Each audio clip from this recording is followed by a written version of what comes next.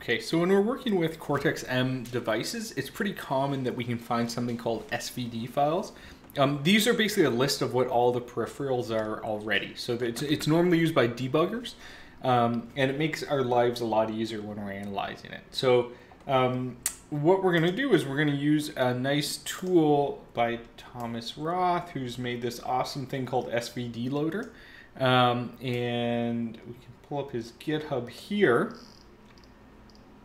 Uh, and he's got a little blog post on it. So if you want to see a little more, um, it's got so, some examples of it. Um, and basically, what this means is that we can now suddenly get um, all of the uh, information about what peripherals are used. So here you can see an example of like peripherals are automatically shown. So it makes it a lot easier to understand what functions are doing. Um, and so I'll show you really quickly how you can install that um, on your your Ghidra, your system, Ghidra installation. So we're going to use this for lab one. This is why I want to sort of make sure you get this installed. So um, we're going to start with Ghidra up like this. Um, the first thing I'm going to do is I'm going to open my file. So if you've already analyzed it and saved it, this won't come up. It's not going to ask you to analyze it. Um, we have to hit no at this point, so we need to actually wait before we auto-analyze it. We need to we need to get a bunch of peripherals here. So what's going to happen in this little section? We're going to list all our peripherals for this device. Um, and what it should look like is, okay, we get this up, we hit this run button up here, this our display script manager button, looks like a run button. Um, and it's going to be a list of all sorts of scripts that we could use on our device.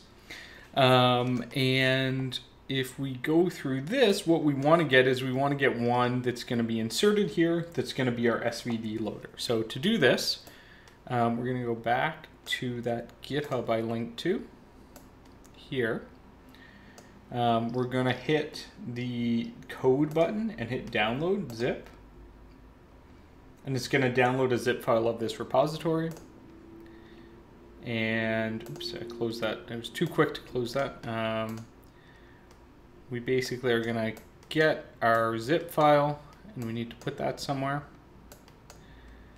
Um, so there's the SVD loader. Um, and we just need to extract it somewhere, right? So I'm going to extract it right here on the desktop. Um, you can put it somewhere more sane, but it doesn't really matter. And once I open this, I'm just going to pull up the, um, here you go. I'm going to pull up wherever this is saved. So I'm going to pull up this, this directory. So I want to pull up this root directory and just copy it to my clipboard. Because um, what we're going to do in Ghidra is we're going to open that, that window that opened, the script manager window right here. Um, we have to hit this button, this like list button that is going to allow us to insert script directories. And I'm just going to insert this directory right here and hit OK. Hit OK again because it found the directory. So now we should have that, um, that script directory linked in for us. Okay. And if this worked, you'll see this new level down security SVD loader. So I can now select that and hit run. And what it's going to do, so I have to run this while I've got um, my code, this, this up just like this. So I've opened the file. I haven't hit analyze yet. Um, and what we need now is we need the SVD file. So we need the SVD file for the microcontroller that we're using. Um, so we're going to go back and we're going to take a look at um, where'd that web browser window go? Too many open here. Okay, so we're going to go grab um, from, what was this? Ghidra setup intro. Um, so in the Ghidra setup intro, um, or it's also in the lab one if you're on uh, in that folder too. Um, there's an F SVD file. We just need to download this SVD file somewhere. So if we're doing this in GitHub, that's pretty easy. Um, we're just gonna this download button. I'm gonna right click and hit save link as, and just save it to my downloads folder. And there we go. So now we got that file. Um, so now we just need to add this. Uh, we just need to point this to the wherever I save that file. So um, I think I saved a copy it on my desktop earlier. Or maybe let's go downloads I'll get the the last version. Probably don't save it somewhere. So many files. Um, stm 303.svd. So we want to open this this svd file. And it's going to run for a second, so you'll see it says loading svd file. Um, and at the end it says finish. So and if you scroll back up, you'll see it, it lists all the registers that loaded. Uh, most importantly, up here, it made a list of all, all the new registers. Um, if we wanted to add anything else to this, so we'll also see this in the memory map. Um, and we can take a look at what's got what was added. So it added all of the different peripherals that SVD file knew about. Um, we may need to add other stuff. So in this case, it didn't know about the SRAM. So I'm going to add the SRAM, um, which is in the lab example. I think that's right. One, two, three, one, two, three, four. Um, so this is just going to tell it about the SRAM that's in the system too, which you can see from the memory map. Okay. Um, so now that we have the SVD file loaded, now we can auto-analyze it. So you, so I didn't auto-analyze it initially, and I know it's not auto-analyzed because there's nothing here. There's no disassembly. It's just showing raw hex. So I'll now go analyst, auto-analyze, and we'll run it, and that'll take a second.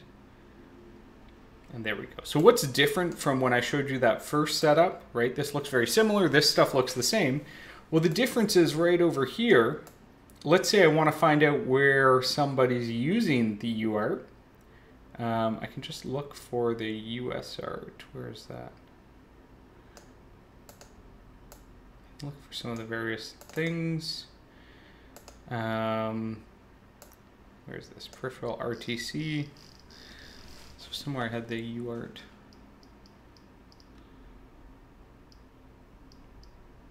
Um, but they show up as, they basically show up as new, um, let's take a look here. Where's the UART? Because we want UART 1, um, which is the one that was used in this thing. And I know it's here because I've tried this before let's do it the other way. Let's look at our put, let's look at our function that was printing the strings and see if we see the UART now in it. okay. So before we looked at, right, this unknown function here, and we said I, I, I, sort of worked through in the other one how you could figure out it was eventually talking to the UART. Um, well, now we have, let's take a look at this. So we have this pointer here. Um, it, it, you know, it has the same thing. We don't know exactly what this is. This is a pointer to um, the the uh, location. And if we go back to some places where it's used, what we should see is this. So now if you look back, you remember before this was just an arbitrary constant. Now it's called pointer USART1, right? Without me having to do anything. So it's detected that it's a UART uh, peripheral, right? And if we go to that memory address, so basically what it's done is made that memory address, right? So if we look at that peripheral, we can see all the references to it. So we can see everywhere else that it, that UART1 is used, which makes it much easier um, to reverse engineer stuff, right? So if you wanted to know where, like, hey, is the timer used anywhere? Um, oh, there's no references to that, so the timer must not be used. Um, if we had like a CAN or something like that, uh, we could actually see where everything's used. So that's sort of the nice thing about um, this SVD, um, running this SVD loader first. So the only caveat is you've, you've got to run it ahead of hitting the auto analyze. Um, so if you're going through the lab and you already hit auto analyze, you know, you didn't, you don't have all these up, then just start a new project or delete the file. Um, and then or throw away all the analysis, whatever's easiest for you. But you want to get to a clean slate, run the SVD loader, make sure it gives you all of these things here.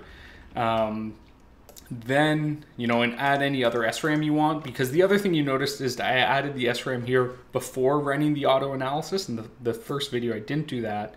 And you'll see some of these pointers are actually um, pointing out that they go. So if we go back to the beginning here, where's that? What you'll actually see is that um, even the pointers have been made a little more obvious. So I think, yeah. Right, if we look at this function, it's telling you it's a pointer to this, um, or this this data location is a pointer to something else. So so it makes it a little more knowledgeable. So anything you can tell Ghidra about your your hardware setup ahead of time um, improves its analysis capabilities. Uh, but yeah, so that should get you started uh, for doing some basic reverse engineering of the provided hex file, um, and you'll be able to see where different peripherals are used within the hex file to find functions and figure out what it's doing.